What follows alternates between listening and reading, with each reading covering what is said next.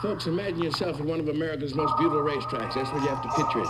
You're sitting there, lots of money in your pocket. High noons, hot, dropping my buttered popcorn.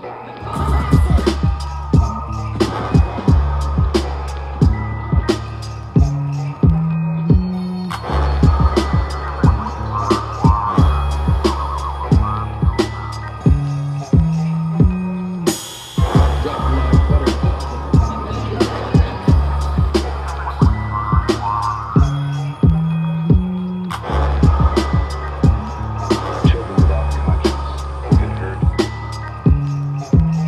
America's most beautiful racetracks. Lots of money in your pocket. Lots of money in your pocket.